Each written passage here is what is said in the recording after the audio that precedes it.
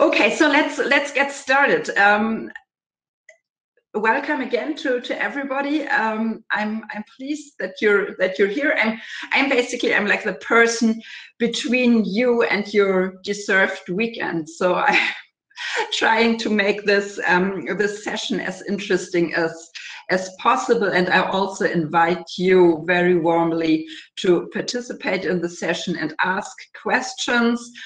Um, so that I can, you know, accommodate what I say and what I present to to your needs as well. You know, so I'm here for you in within the next one and a half hours, and so you you please uh, make the best best use of this time as well. So um, before I, I, introduce myself and the organization I'm from, I just would like to um, give you hang on, I give you just an overview what to expect from from this um, from the session and I'm just trying again to share my presentation with you because obviously that didn't work right now so I'm trying to to double click on that that you don't only see the starting the starting slide. Okay so here we here we go. So will you be an evaluation expert um, after the session? I'm sorry, you will be not. Not even I would consider myself being an evaluation expert because that's really a, a big a big big task and you always learn on on the run and on the on the certain project. So don't expect to have something ready to start with when we when we end the session. What i would like you to do or what what i would like you to take away during the session is that you rather be able to ask appropriate questions on your journey towards a more impact oriented um, work than having already some some fixed answers because it's you know it would be dangerous if I gave you like the, the a fixed answer right now because everything you do when you look at the uh, um, the, the outcomes and the impact of your work will be very specific to what you're doing and in what environment you're working. So the thing I would like to do is just to provide you with a certain mindset and what, what I said, certain questions, how you and hopefully your team as well can address the idea of how to um, achieve more impact and impact um, impact orientation in the daily work of your organizations or your or your programs so um, basically what is impact orientation. Um, um, that's not a term where that has like a solid def definition that works for everyone. So i would like to provide you with the the def definition we're working with and subsequently with the de definition of what is impact orientation. So what what kind of management idea are we looking at when we talk about impact orientation? Why is that important for you? Why should you bother. And um, you know it's you know to deal with all this monitoring and evaluation stuff it, it is really cumbersome. It's it's a lot of hard work. And so you should have a good reason why you really why why you deal with that. And i'm trying to provide you with some ideas why for nonprofit organizations as well as organization uh, as, as museums, it might be a, a, helpful approach to look into this. Um, this benefits of impact orientation. And then we are changing over to a little bit more um, practical orientated part because I want to show you what are the different steps within a, like a program management circle you have to address in an impact oriented journey and one of the first things you have to do, of course, is to know where do you want to go? Or where do you want your program to, to end up? Or what do, what do you want to achieve for, for your target group. So setting objectives with a focus on social impact would be like one of the first things you do with um, you, you you you have to do with your team to get started. And then um, I will give you a very quick run through um, tools or instruments, however you want to call it, to measure. And I put this measure in inverted commas, and I will tell you later why I did that. Because you know we we are not very happy with the with the term measure because it suggests a certain approach to something what is really um, what is really um, difficult to what is really difficult to measure actually. So but so these are the the different points i would like to to cover in the presentation. And before i start i just would um, like to introduce where i'm from and um, like the organization i'm from and who, who am i probably probably as well because um, you have to deal with me for the next more more than one hour. So who, who is the person who's talking to you?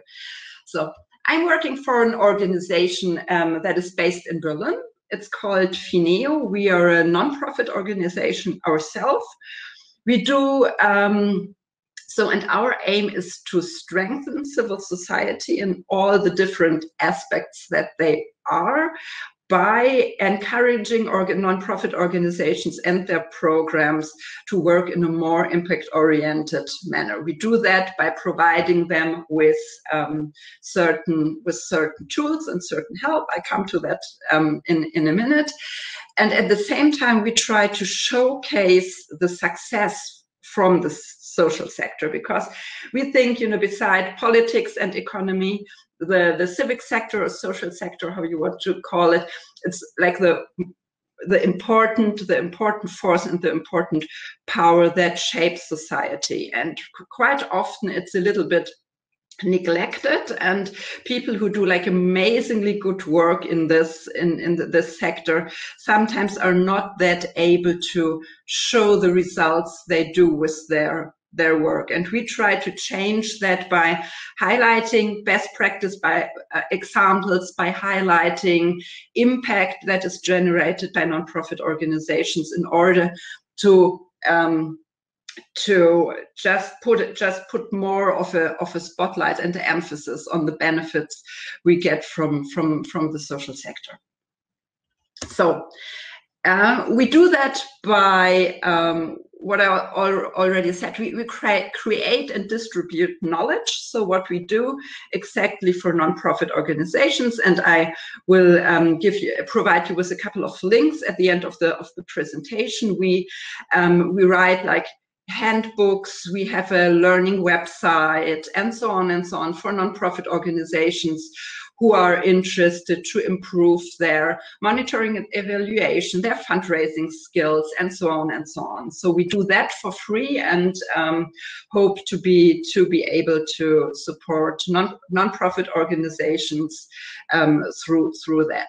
Then what I also already said, you know, we try to feature best practice examples in the social sector, not only because we want to highlight certain organizations, but because we always also think that talking about best practice is a good way to improve the work of the social sector in, in, in general.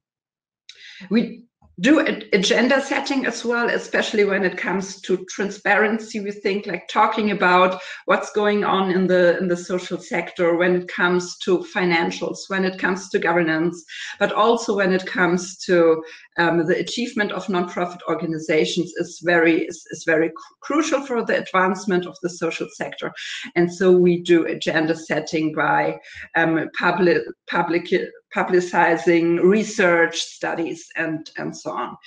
And the last but not the least thing we're doing is we work with so-called social investors. So these are people and institutions that support the, the social sector. So um, that can be like um, wealthy individuals, but mainly it's foundations or it's companies who um, do um, do good with via their um, corporate corporate citizenship um, agenda. And we help them to co-work with the nonprofits they are supporting in a way that both of them um, benefit benefit the most. Okay, so and me, just about me. Who um who who am I? So I'm working for PHINEO for almost 10 years now. That's that's impressive even for for myself. And before i worked actually in the field of um, political education. That's a bit what um, leonard um, schnieding talked about yesterday. That that was the kind of work i was doing you know working with school kids and you know working on uh, issues like democ democracy um, understanding um, the european integration process and so on. So i'm a little bit familiar with some of the programs that are run by museums um, at, at the moment. And i know how it feels like to do to do this work on the ground. So and now but now i'm a, like a specialist for impact orientation for organizational development for monitoring and and evaluation. Yes and i'm trying my best to give you as much of my knowledge as possible and um, please you know sometimes you know just just try to drain everything out of my brain you can by by asking questions. You know i i tell you what i think is important but probably your questions are even even more important and just you know just don't hesitate to um yeah to to, to share with me. Okay. So just for, for the technical aspect, I see that there are already three people who want to join the, the panel, what I would like to do is that I proceed a little bit in my in my presentation, and then when we come to the first um, um, the first part of discussion, then I would I would invite you. I think that's the best. Otherwise, things get a little bit get a little bit confused. Okay, so what is social impact? What is so impact orientation? Um, some some dry definitions are, are waiting for you now at the moment. Um, but I think it's really important that you know people are on the same page when they talk about social impact because um, when you just and that's just like the first little little exercise I would I would um, ask you to do. You know when you sit back for just a couple of seconds um, and I leave you alone and let you let you think a little bit, yeah, and close your eyes and think, what is the organization I'm working for? What is it here for? What is our purpose? Why do I why do I get up every morning? What is it that that makes me feel engaged to what my my organization is doing? What is what do I value and what is most important for me? Just just think about that for a for a second. You don't have if you want to, you can type it in the chat, but you don't you don't have to do that. Just just try to to reflect a little bit.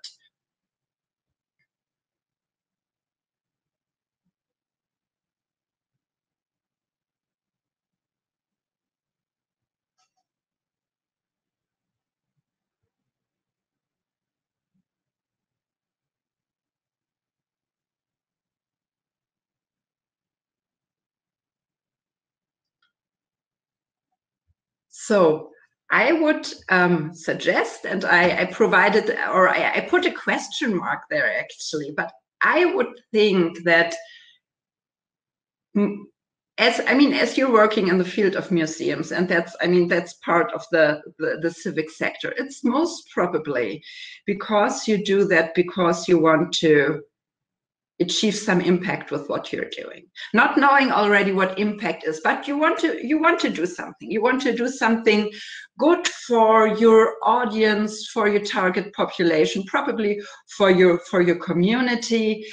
As a museum you probably have a lot of different tasks at at um, on your table. At the same time you have to work in preservation you have to manage exhibitions and so on.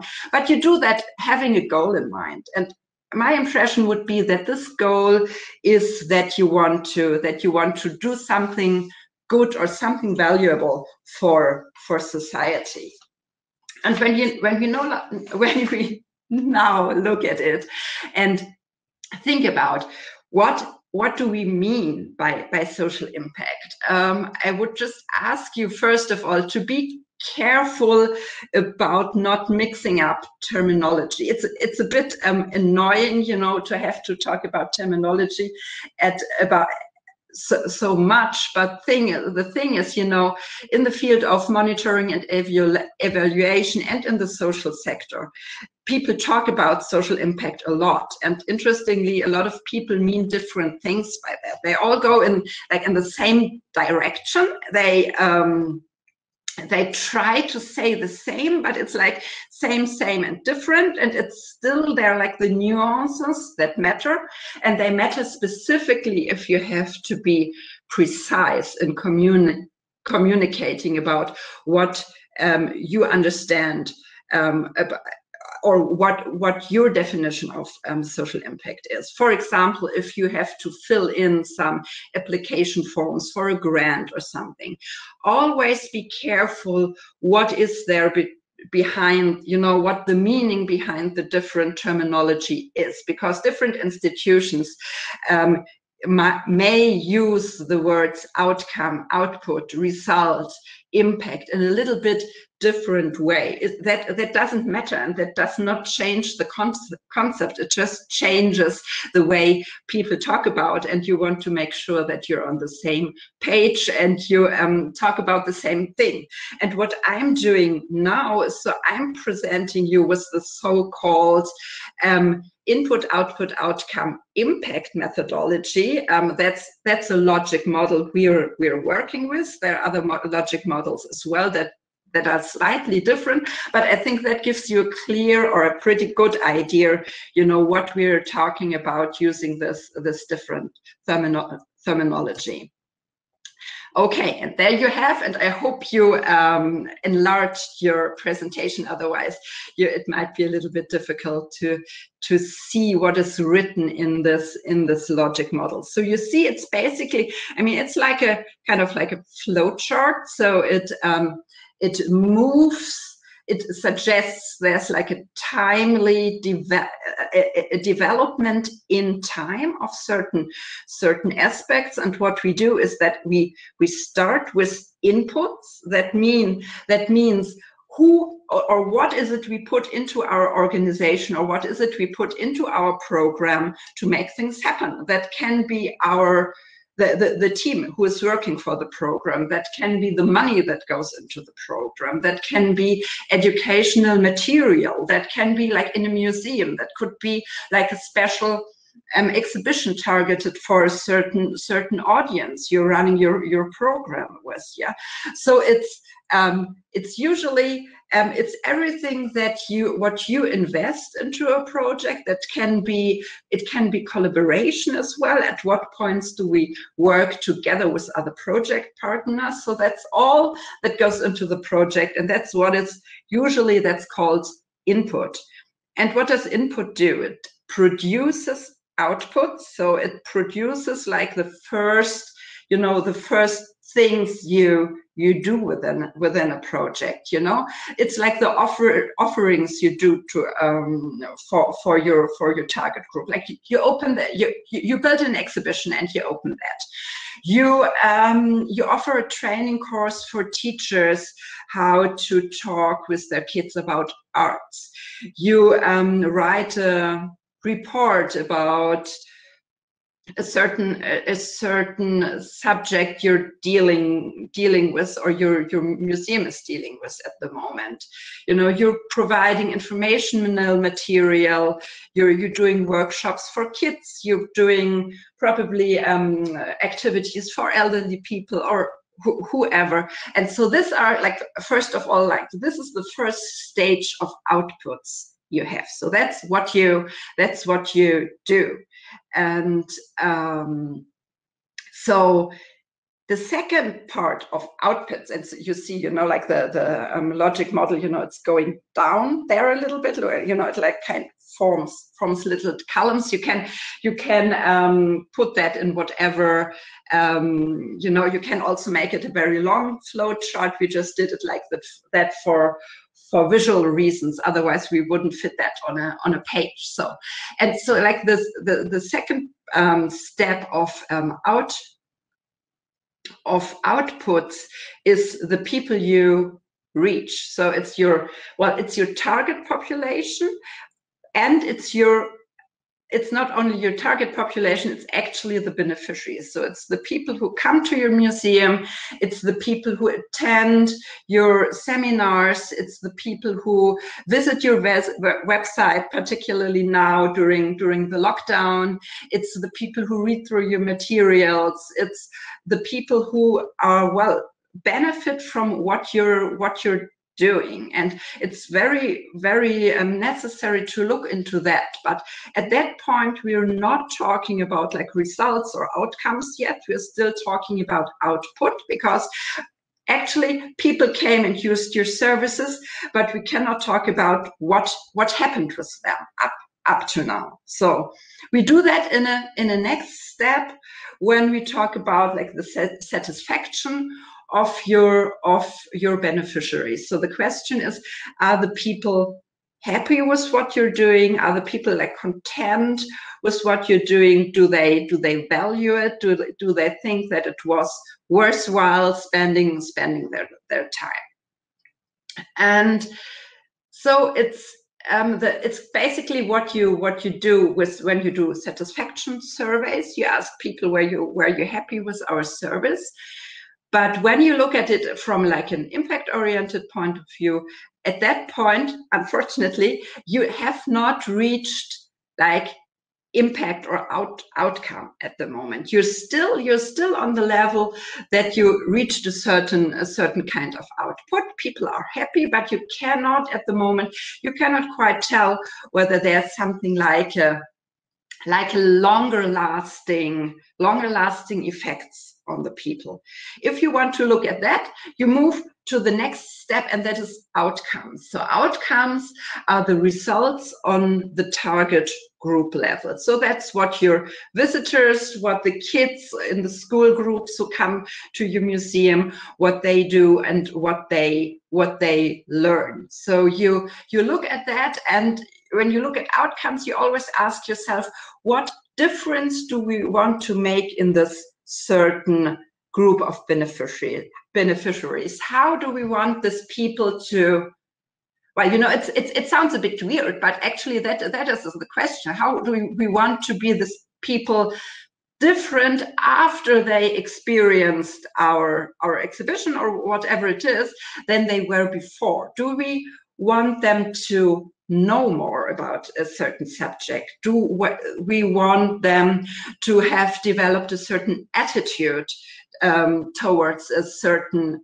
towards a certain subject? Do we want them to be more confident, for example, in what they're doing and what how they're how they're dealing with things? What do we want them to be a more like a more inclusive part of of society by you know being being included in this kind of, of activity. So what does change in like the single person's life who got through your program or or who, who benefited um, from from what you're what you're doing yeah? So did they learn something? Did they do they feel better? Do they um yeah do they well do they have a different attitude towards towards something? And so what does that mean for people's everyday life? Do they take what they have learned into what they what they do in their everyday life? Is it only like a short term? Is it just a short term intervention? Or is it something that lasts for a li little bit longer? And that's these are the the questions that are asked by um, by, by the impact orientation. You know, we have like a short term, we have short term results, and we have longer terms res results. And the further the results are away in a, in a in a timely manner, the more difficult, of course, it is to to to look at them and to to analyze them. So, and then when we when we when we continue looking at the at the logic model, we at, in the last step we come to the so-called impact. Um, in in this in this definition, what defines a change or well hopefully positive change on a societal level. That does not mean that a small museum has to um, contribute to um, like the society in the world as a whole, but what what changes in your community in your your your, your community as like a small scale society? What are the differences your organization can do on on that level?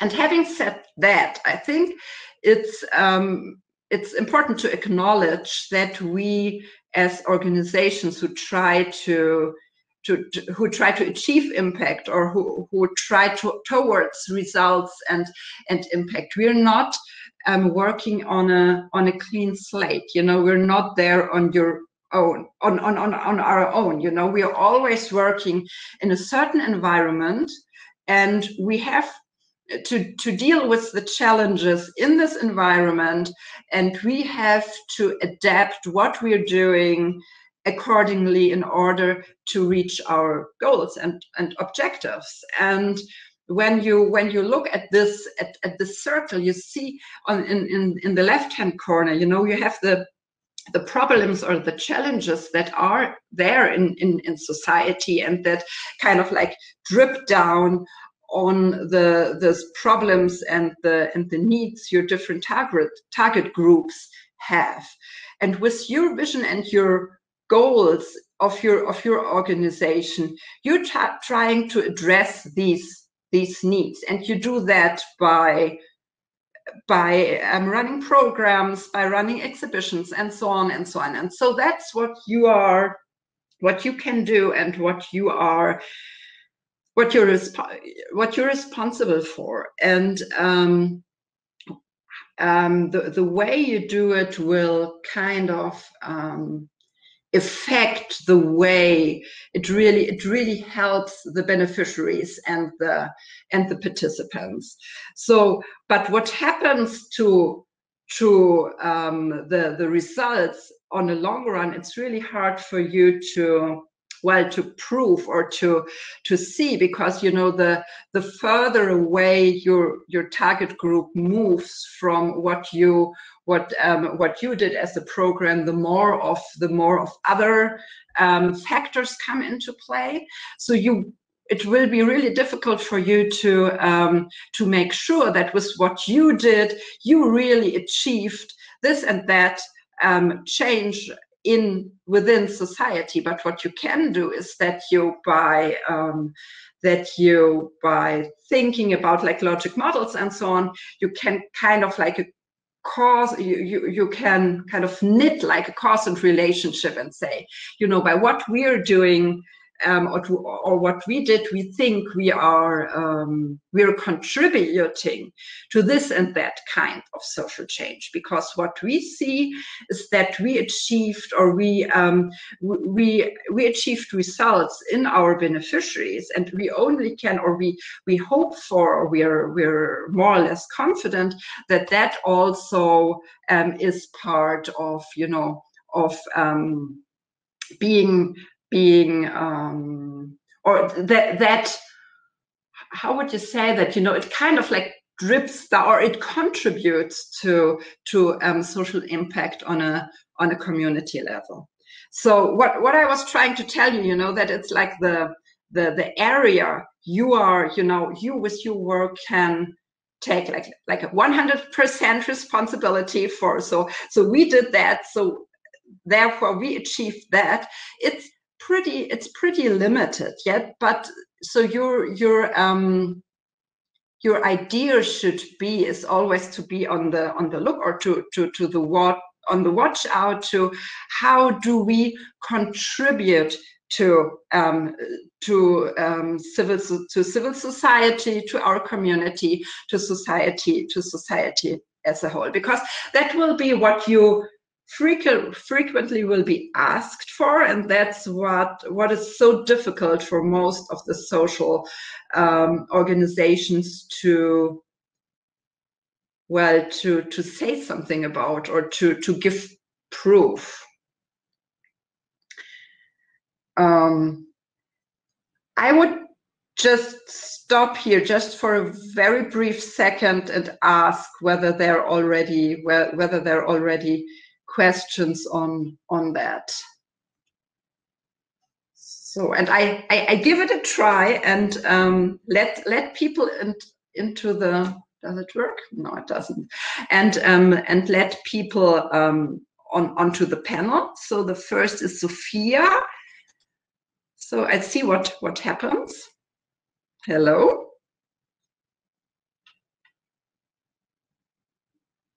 Nothing actually. Okay.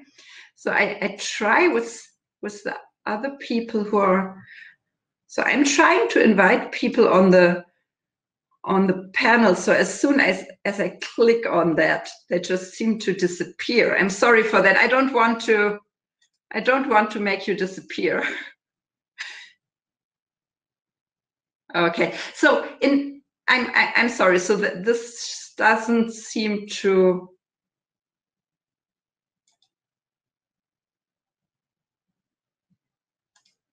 this does not seem so either i'm either i'm too stupid to work it out or it does not work out. I don't i don't know. So what i suggest i'm i'm sorry for that um is that if you have any questions please type it into the into the chat and so we can can deal with that and we make sure that that nothing that nothing gets lost okay?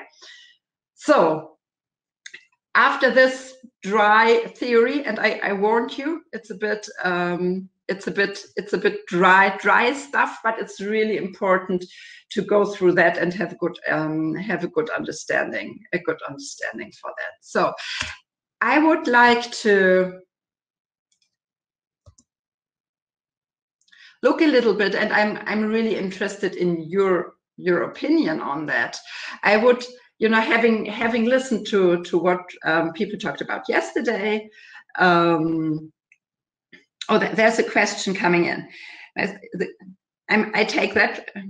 Um, question is about long-term measuring. Impact, impact means long-term measuring. Who does that and with which resources when a project funding is over? How do you deal with that? Mm -hmm. Okay, so I, I, I, grab grab this question um, first, first of all. Um, so um, I think, and that's one one of the challenges I think, well, most of the of social organizations have, but organizations who are dealing with what I call, I, am not sure whether that's the appropriate English term, but what we call like short-term pedagogy. So, you know, you most of the time you will see your visitors or the kids you're dealing with only for a very short time. You know, they come with their school, they do the program, probably there's like a preparation phase and probably there's like a recap phase afterwards, but usually you will, will not work with this people for a, for a very long time. That's different. That can be different in the social sector, you know, when people really deal face to face with social workers say every week or something you know who who deal on issues like social problems housing and so on so you know like the connection of the organization to their beneficiaries might be a bit might be a bit closer than it is um, than it is um, in, in, in the wor work of arts and culture. Still, don't um, don't despair. I mean, what what you can do as soon as you have the impression that you established um, um, a program that is running on on a little bit longer term and you're like working with target group or you're working with beneficiaries for example who came from the same well, from the same community or even the same school or something like that. What you can do is that you, by asking the people who have been um, in your program, um, you, you, ask them just again, I say like half a year later, a year later, something, something like that, you know? And so you can kind of track what kind of learnings stayed on probably what other what other what other changes what what other changes they th- th- there there was you know? You always can when you um, when you ask uh, when when you work with participants a little bit closer that does not work with someone you know who's walking through your museum one time and leaves but for example when you when you work on a on a longer program with the with the with kids or young people or elderly people or whoever, you always can pick out a couple of people and make sure that you and that's that's a representative panel you're forming and asking them whether you can contact them again after a certain um, after a certain time you know that you say okay we we would like to we would like to find out you know how people you know where people ended up who were doing our programs. Probably kids who were at you know at the brink between school and working life or whatever. We want to know that could we please contact you um, in I, I don't know in a couple of months in a year or something that. I mean, there's always the risk that you lose these people. So not only don't only um, agree on that with just one person or two persons, but um, try to make sure that you reach uh, reach uh, you, you you have a higher number. But I mean, that's one of the things you you can can do. Otherwise, I mean, of course, it's it's really difficult to like to to um, on a on the level of outcome and and impact to talk about like a long long run long run develop development in in this case. So okay. Hang on i have to.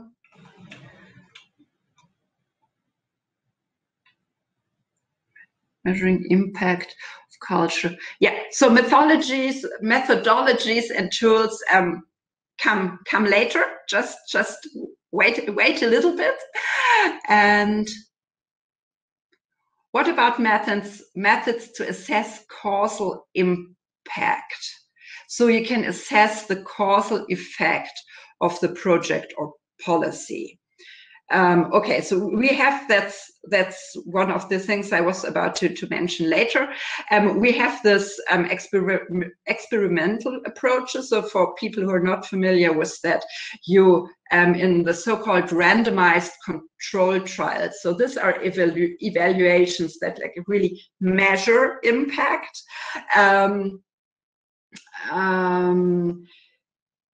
There you have you, you have you have a control group. So so that's a so, so that's a group that is not um, participating in the in the program and you have a um, you have a group that is participate participating in the in the group. And so after that or while during the program you you measure what happens with both groups and you try to um, to compare these two groups. And you know so and then you can you can um, well take talk about like the causal effects of the program with a little bit more of a certainty because you say okay this group um, obviously um, was treated with was treated with our program and they showed this effect. And the other the other people who did not participate in our program don't show this don't show this effect. So it's pretty likely that this effects are caused caused by our by our, our program. So this is um, i mean that's like the high the very high standard of evaluation and very very few times this is done it's a very costly method of evaluation. Sometimes it's done in development work, you know, so like the really large um, programs ran in, in countries sometimes do do randomized control tri um, trials. Honestly, I don't I don't know about an example in like the work of arts and museums that that happened but i might be might be i might be wrong um, but I, I, I haven't seen i haven't seen that so but what you can do you know if you i mean with some certainty you you want to to link the, your pro program with the with the effects you see. I mean one thing is that by you know setting up the tools in a in a way that you ask your your participants what do they what they think about you know what do how much they think that the effects of the program really created the, the effects on, on them, you know? That they, because I think they, they are pretty able to, to, um, to figure out, you know, what caused effects with them and what what didn't you know i mean they might say well um, i do, during that time i learned this and that and i definitely did do learn that via this program and they, but they also could say, well, you know, actually, yes, I learned that, but I mean, the program was helpful, but I also attended, I don't know, another program, or some of my friends helped me, or I just got some input in school about this and that. And so, um, you know by by figuring out um, by figuring out that and asking your participants you know how they how you know how they judge the influence of a certain program um, you can get a little bit closer to um, you can get a little bit closer to well I wouldn't call it proof, but being a little bit more certain about what you know the cause, causes and effects in your program. What you also can do is that you ask other other people you know people who probably have the comparison. For example if you have kids running um, uh, you, you you run a museum's educational project for kids in a in a school. Ask the teacher um, what differences he sees in this kids compared to some of his other kids he's teaching who do not attend this program. You know that should also should um, that also should give you some some well evidence or something close to evidence um, that uh, that helps you with that. Could i answer the question? If not just um, just feel free to to continue continue asking. Okay Okay, the PHINEO Navigator considers those designs anything specific for museums and art projects.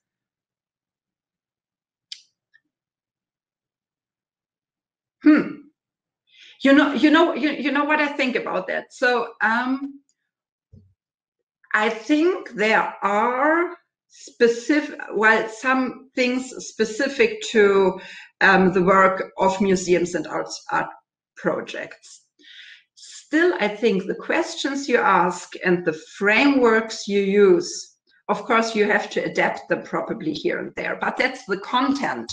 You fill them in, and I will try to, to show you later what I mean by that, you know.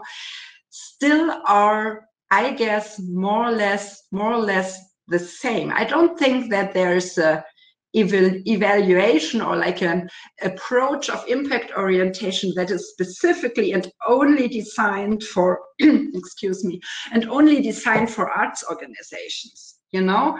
The the um, the frameworks we we suggest and it's i mean it's not not only us you know? It's like just what the what the world of ev evaluation suggests and frameworks are pretty pretty flexible to be filled with with different content. And that can be like that can be social projects that can be cultural projects that can be um, educational projects because it's you know it's the matter the, the matter it is you know what what questions you ask within um, within the within the framework. And you do that of course you do that specifically to your certain program and to your and also to your certain um, societal or, or, or um, uh, the, the certain needs in your community you know? You fill that very individually what you with what you want to achieve and what are the needs you're you're addressing. But i come to that i come to that later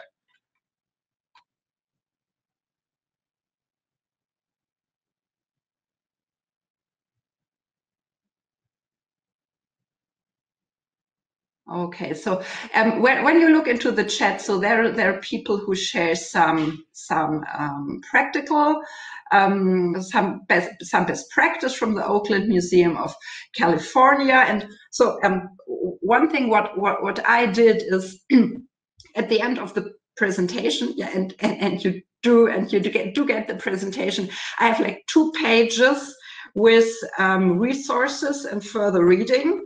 And in there, um, you will find a lot of best practice examples. You find um, you find a lot of tools and so on. Um, so so that's just for um, for further reading. So I had um, so so I have another person popping up on the panel. Oh, okay. And so yeah, hi. No? sorry, you're on the panel. No, I, I'm really sorry.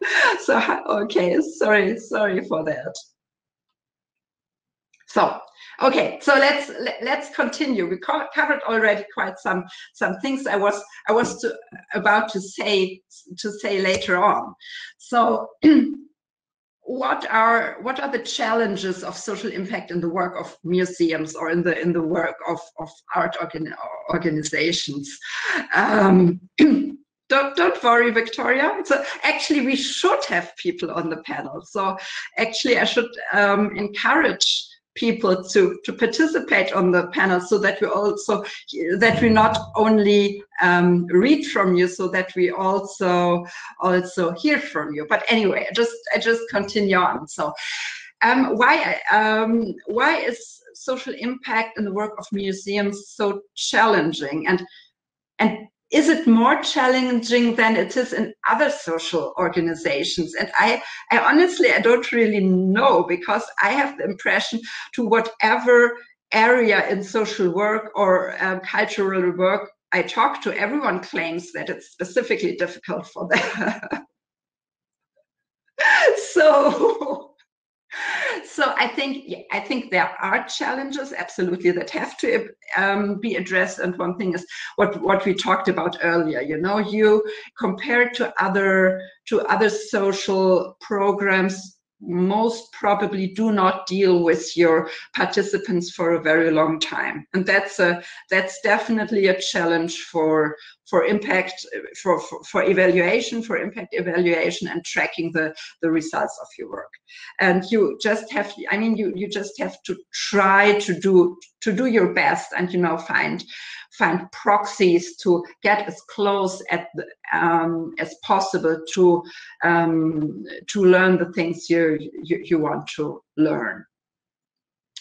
And you also, I mean, but that's that's the case for every social organization. You know, you you um, work in so many well you, you work in so many different communities and and, and environments you have so many different um, approaches and you have so many different you know subjects you're working on you know so you have natural science museums you have art museums you have history museums you have uh, museums that talk about a certain um, i don't know certain uh, certain people and their history. You have um, you have um, museums that talk about um, you know how how technical things um, developed over time. You have something like memorial sites. I mean, they could would in my, my, opinion this are this is a kind of museum as well we should we should um, we should focus on so and so there are so many different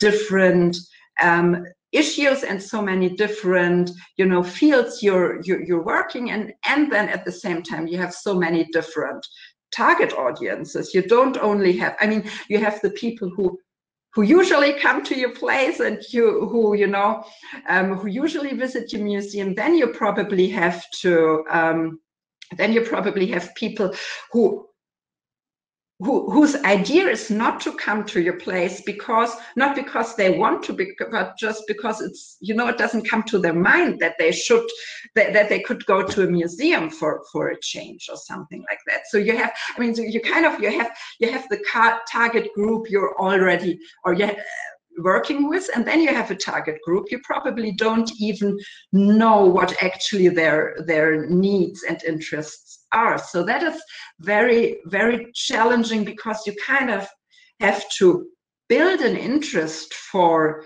your cause. You have to build an interest for for the for the arts and everything that is you know and everything that, that is that that is around that you know the, um, when you do political education um, you have to you know build an awareness where that is where that is important. Um, and you have to you know you have to make a stand and communicate why you think that you're serving a need your target group probably does not realize yet that they that they have a need um, for that. So that's um, I think that's really um, that's really interesting, and I you know that like came to me yesterday more more and more clearly that it's you know you're not like a organization that's for example you know providing shelter for for homeless you know? The need is very obvious you know for for the for the people themselves. They're homeless they need shelter or for someone who's hungry they need food. But for someone who is not engaged in well say like cultural discussions or uh, political political education, um, they don't necessarily feel feel the necessity to to do that. So you're kind of like you're building a market, and you do that by looking very carefully at what the needs in your in your certain community community are. And I only can. Um, invite you to what you're what you're doing right now that you um, that you the, the, the, conversation you started that you continue that you do i mean what what just happened in the chat you know? You share best practice you share you also share worst practice by the way you know? You you tell you tell each other what did work in my organization what didn't work um, what approaches did we use um, probably other people other people can contribute contribute as well. So it's like um, learning it's it's learning on the run.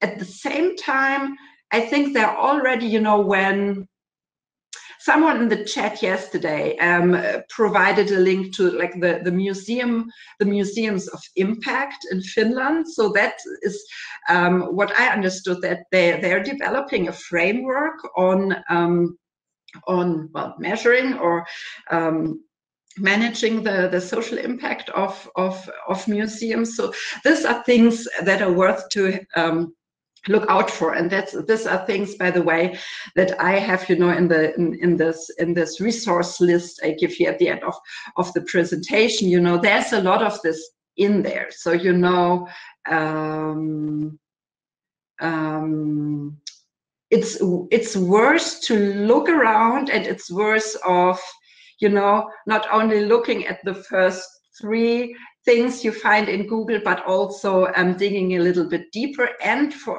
especially also to use the resources, you know, um, organizations like NEMO and, um, you know, all the organizations, uh, all, all these umbrella organizations um, you're, you're working with provide you. So when, you know, when I did my research, I'm, I'm not a specialist on, on museums, but when I did my research for this presentation, I found that there's quite a lot, you know, the, the thing is, um, the thing is, you know, the framework itself does not help. It needs to be it needs to be implied as well, and that's a that's a pro it's a process that is not really it's not really easy. But um, you know, I as we we have to proceed on a little bit. I'm talking too much, and um, I just check the question and answers again. Ah, okay. Th thank you, Pirjo, for the for the link again. I think that's I, I tried the the the website yesterday. It was not online or I had problems with, with the computer. But I think that's definitely something we, we all should should watch watch out for. Okay, so I have I have to continue on because time um, time runs. So one thing I would and you know you know I think I, I use this slide a lot and i actually i think it's the most important slide in the whole presentation um, because it actually should give you or it, it gives you an idea why to bother with impact orientation. Why should you do that? You know you have so many things on your on your table what you have to do. Why do you have to think about impact you know? And we think that there are basically there are two main areas in which impact um, orientation can help you. One is the area of to prove what you're doing. You know you you know that pretty clearly. You know you have to to write reports. You have to talk to your board.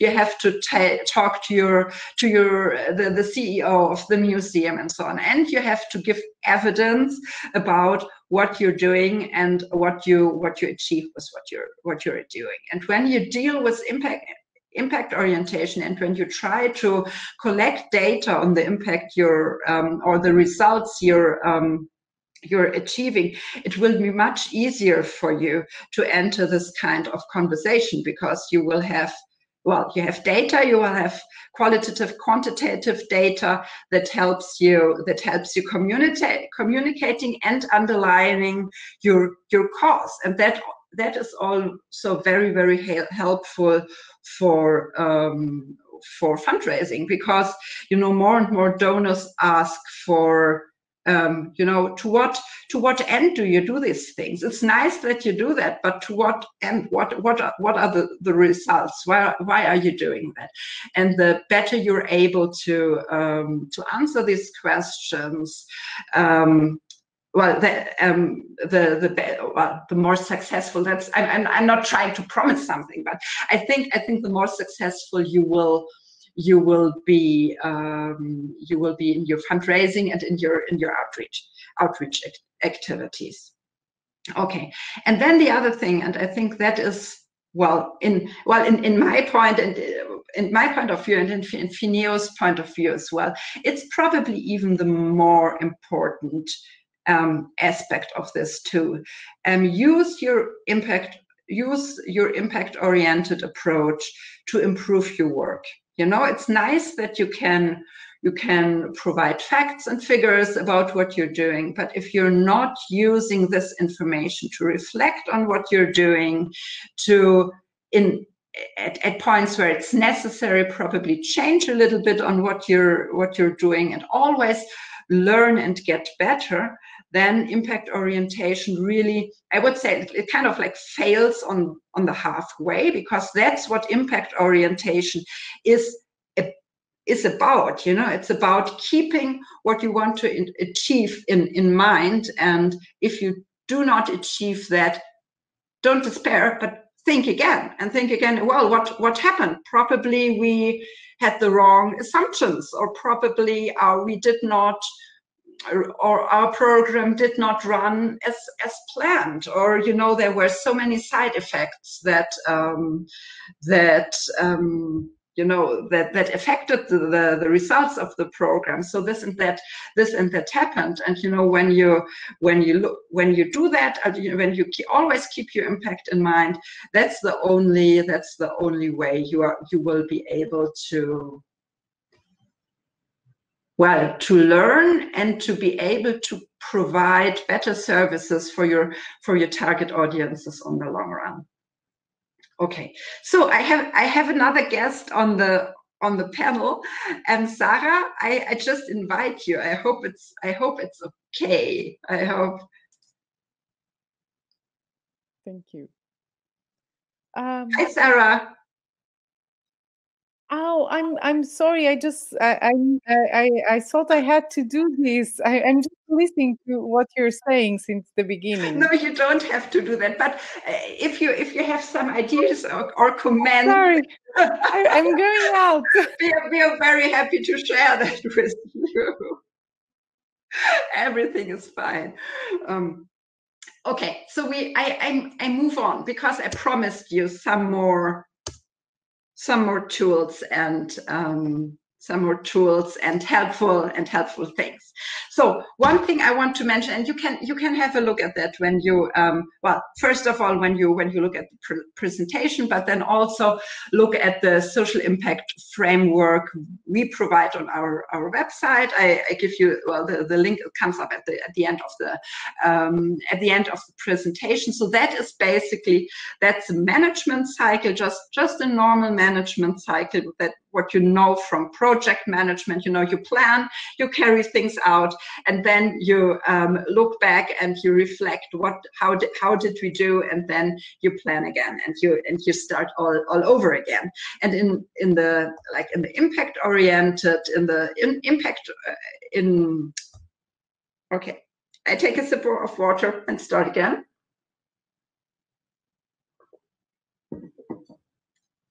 So when you when you do um, um, project project management with a focus on, on impact orientation, it's very important that you focus on the challenges and needs of your of your target of your target audience or your your community.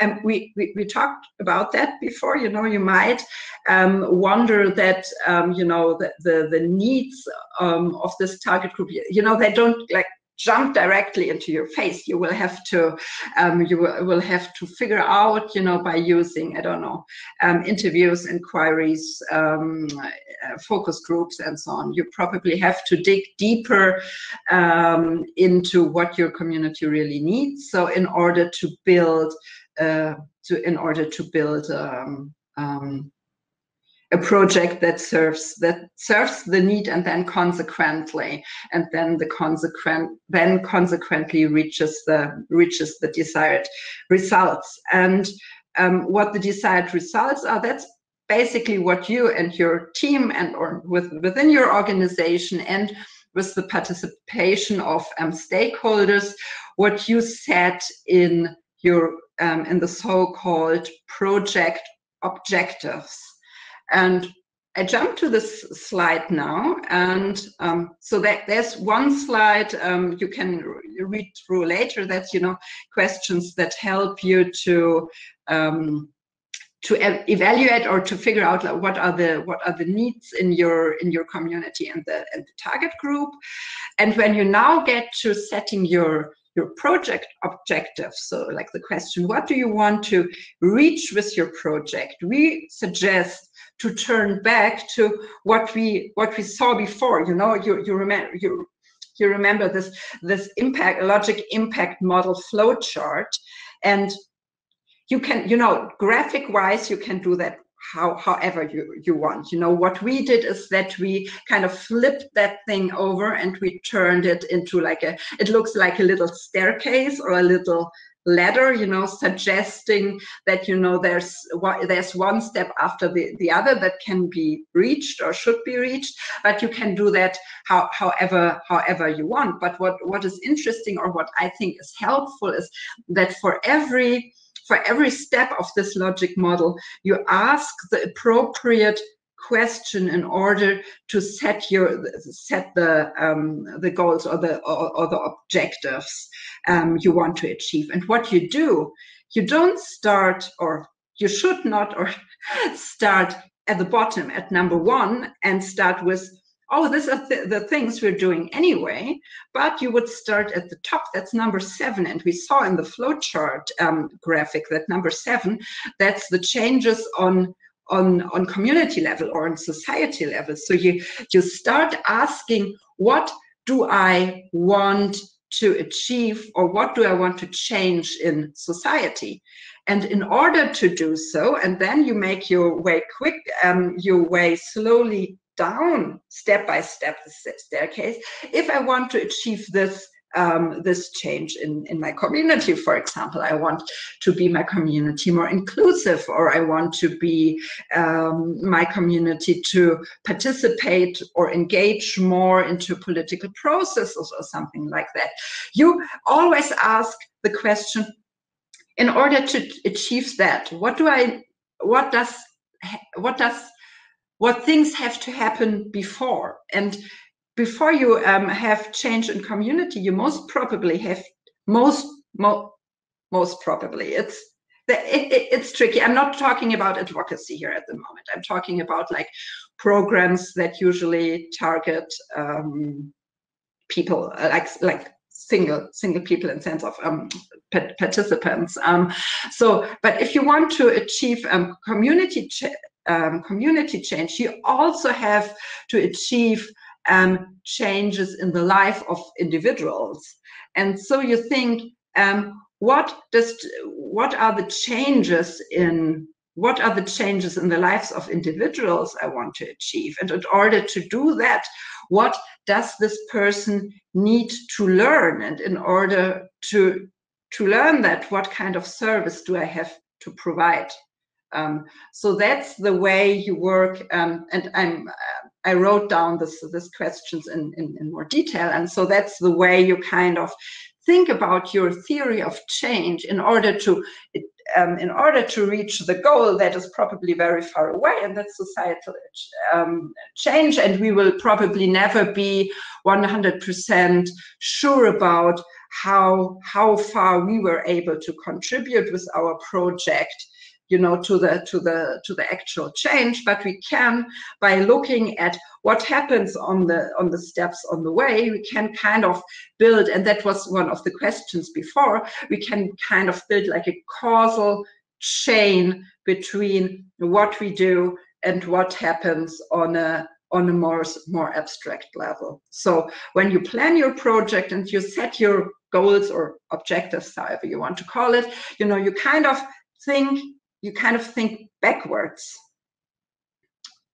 And then you i mean of course then you're that it should be like a like a process where you have your your team involved. It should be a process where you should um, where you should have stakeholders involved and, and it definitely should be a, um, a, process where you when you're working with the community you should have um, people from from the community involved. I think that's a very important criteria for quality the, the quality of programs i mean for the whole for not only for the planning for, the planning phase but also for the other phase that you have always you know you kind of speak with your with your um, your beneficiaries or your participants and you always you not only welcome their feedback but you also um, take their feedback into as something you really acknowledge as a as an important source of information and you really and you really and you really deal with with that. On on the next slide and i hop through that um, i just give gave you um, a few ideas how to write down project um, objectives in order to make them easier to evaluate later. Um, you heard that a thousand times before. I can, I think I can skip that. If you want to uh, have to have a look at it again, um, you can, you can, um, you can go, go back to the slide. And then um, I would like to provide you with some and these are these are not fixed answers but just some ideas about what does impact and outcomes in the arts and cultural domain mean you know? Some people always you know people ask for are there certain sets of indicators or certain sets of goals we can use for our work and for our you know for our for our measurement? And i always say well actually there of course there are indicators that are more or less commonly commonly used um, but it's not a good idea to take that one to one and apply that to, to your organization. You always should think about your goals yourself and what that means for your for your evaluation um, or your your your work in your specific um, context. But still, so what the um, I think it's from the it's the Arts Council in in Great Britain. I think they're doing a pretty pretty good and interesting work when it comes to self-evaluation. They have a tool on self-evaluation, and so what they suggest, and I mean, I mean, it's it's a suggestion. You always can can elaborate on that or extend that or say, well, that's not for us. But they um, they recommend like four areas in which arts organizations have an influence on well on on society and so i'm not going into that into into detail but so they define like like four areas where um, organiza arts organizations create an impact and that can be in society that can be on an individual basis when it comes to health and well well-being that can be on in in education that can be as the, this is as well on a personal level as on a societal level, I think, and it also can be um, on the economical level. Of course, I mean, um, arts organizations and museums are also um, are also players um, that that generate income and so on. So and and who have employees and so on. So that can play a role as well but you know to zoom into that and just to have a couple of ideas about what other people use as indicators and in the literar literature um, um, section i added a couple of other organizations that provide in so-called indicator sets for for the area of arts. It can be helpful but don't take it just like one to one and um, and and use it without reconsidering whether that is really that is really something that that works that works for you. Because then you know you end up with something you need to measure and you did not really work towards this result. That would be pretty unfortunate. Um, to, to say to say at least.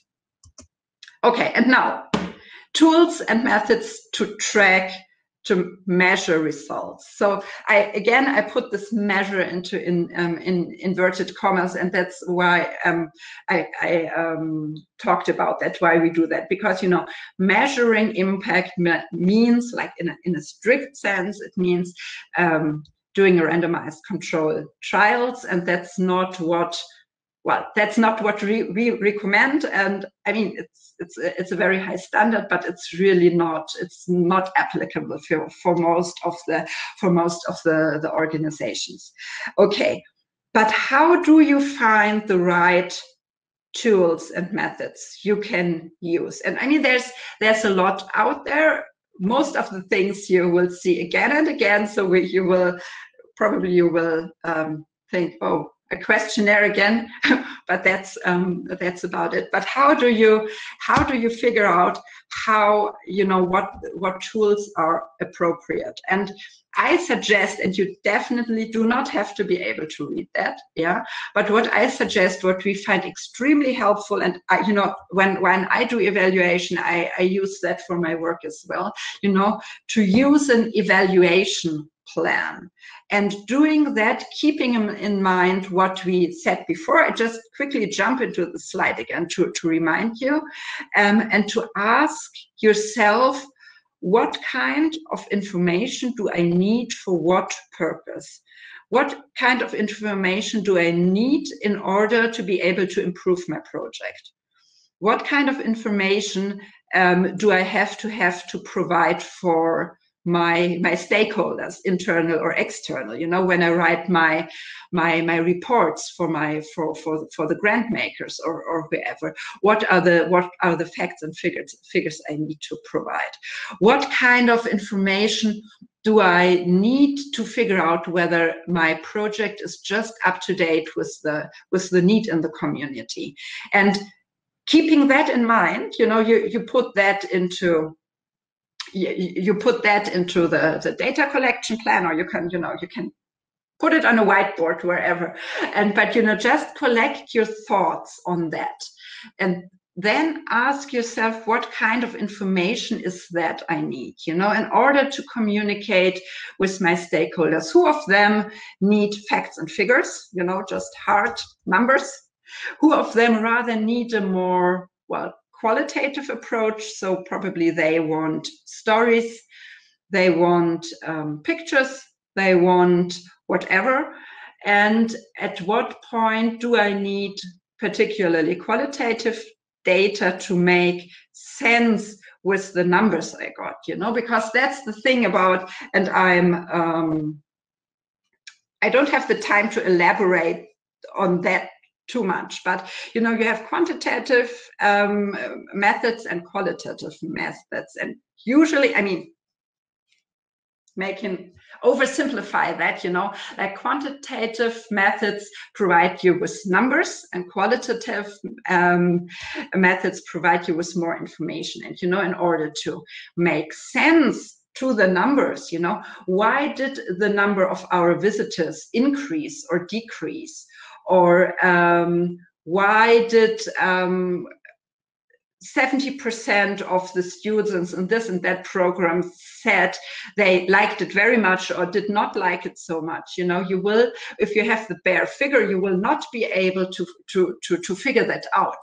You know we in um, you will always will need some stories some comments some information you get from interviews and so on to make sense in order to you know in order to make sense with you know with the sheer with the sheer numbers you have and then again yeah so that's um so that's just the the um what, what I what I just say, you know, you you always will need different different angles or different perspectives. You look you look at your um, um, you look at your pro project. So, and the more reliable your data needs to be, you know, the more effort you have to put into a more rigorous approach of data collection. So if you just want to know whether people were happy with a, I don't know, with, with a picnic in the park today, it's okay to ask two or three people and ask them to tell you their story. If you want to know whether you um, whether you scale your your educational project in in your museum for the next, I don't know, for the next five years or to another museum or something like that, you might have you might want to have a little bit more evidence you know you want to have not only some you know some people who said something but you want to have a more rigorous approach in data in data collection so that means you have well, most of the time it means that you ask more people, you ask them in a more structured manner.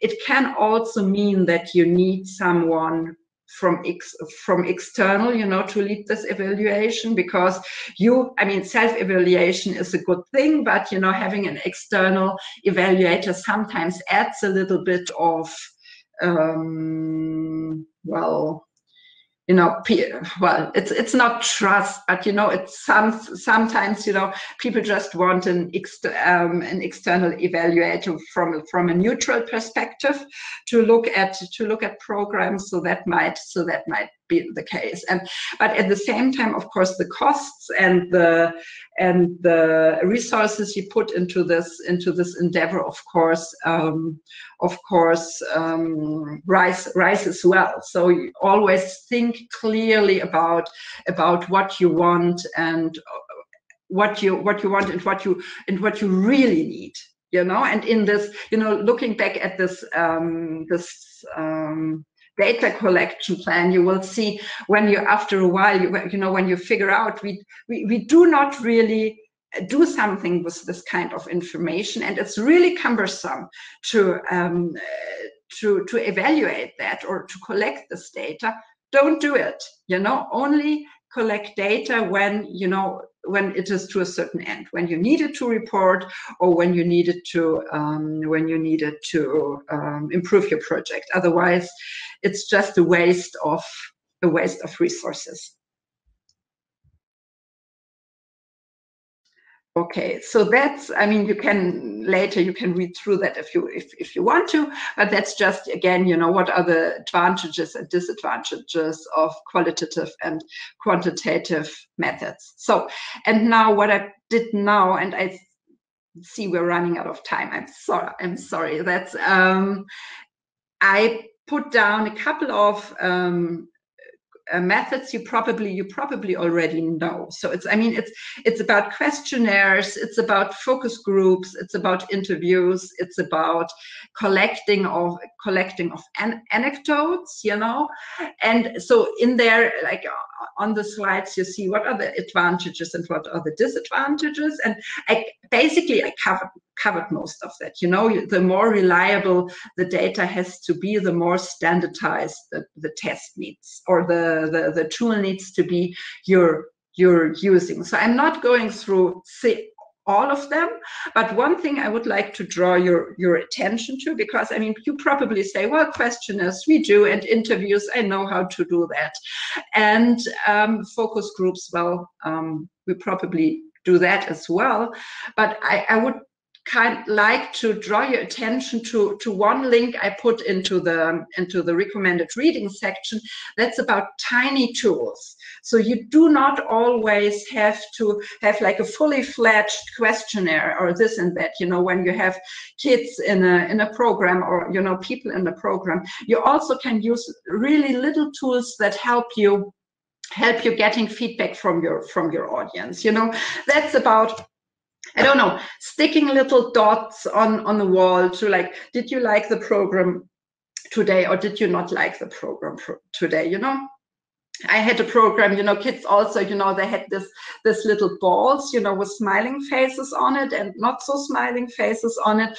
And they also, you know, they could put this into a bucket, you know, when they were about to, to leave the room. I mean, that's that's that's a tiny tool. I mean, then you can do something like quick quick interviews that do not that do not um, that, that are not so so so time consuming to, to do. And in this in this um, in, in this publication about tiny tools, you find a lot of that. And you also find a lot of that that is really participant participative you know and i think that's very important for when you want to when you want to engage your community use a tool um, that is that really engages the the people. You can i mean you, you also can do a quest you also can do a questionnaire but really give the i think it's important to give the people the impression that their opinion really matters and that you really values them. And that can sometimes that is more the case when you know you use a more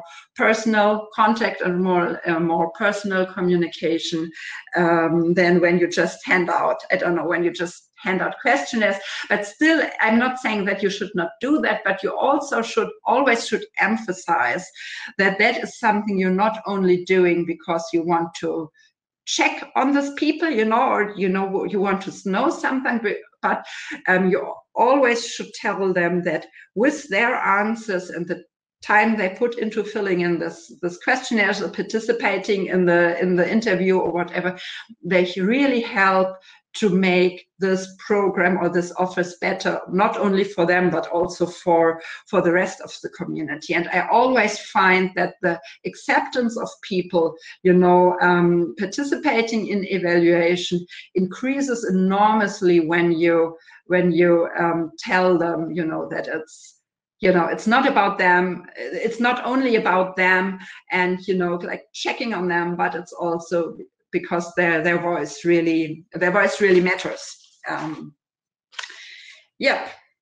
So that was that was about it. Um, I talked a lot, and um, I hope that there's some more there are some more questions for the for the last couple of minutes. Was there something very clear, something very unclear? Should I, I mean, I can again, you know, I can focus a little bit on the on the different tools if you if you want to. Um, do you think now that impact orientation is too cumbersome to even think about that?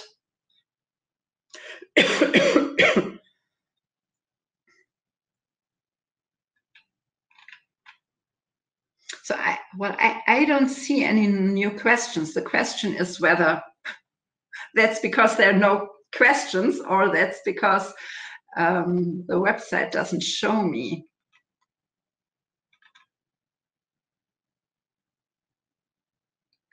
Ah, okay, here. Um, my, my, my, okay, so the question is any um, indicative questionnaires, any direction for controlled group trials? Um, probably that's now a little bit um, stupid to say, but um, and actually my direction for a controlled group trial would be seek expert advice. First of all, make sure why you want to do that and then ask someone who really knows about that and then um, and then get, get get consultation really. I mean because it's it's honestly i i mean really the, the very few of of um, control group trials i've seen they th that's just big that's just really um, it's it's a lot of work and by definition you can't do that on your i, I mean when you are I, I, assume you're you're working within a museum or a nonprofit organization. By definition, you could not do that your, yourself because um, just the qual the the, the um, you know you have to have someone neutral from from outside who would who would run who would run that. And so um, yes, share, um, seek advice and think thrice whether you really want to do. it. You know, I'm not I'm not talking against that. I just have the impression in most in most organizations something like that would be really really overwhelming and you know i see you know just to just to implement really small evaluation tools is already such a big endeavor for most for most organizations. So why not? And actually that's one of the suggestions i forgot to to to make earlier. Start small. Don't think oh my god now we're going to evaluate our whole museum and we are going to work impact oriented from the basement to the fifth floor, something like that. Start small. Just pick a small. Um, it's a small. Um, take a small unit of your organization and let them start and let them share the experience and let, and let them learn what works first before you engage and uh, before you engage everybody. So that's what i so what what i suggest. Also it's i think it's a process that you cannot only um, do from well neither from the bottom up or the top down you know. If if like the management does not want you to um, shift your focus on, on on social impact then it will be difficult for you to um, for you to do so. And at the same time if the like if the people who work in the organization are not convinced that that is something that is good for them and the organization you will never be able to to implement that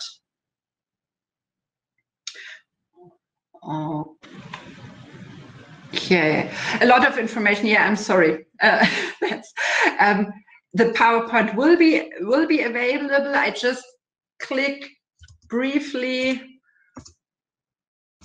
Ah, okay, here. I mean, here you you will you will get the you will get the PowerPoint.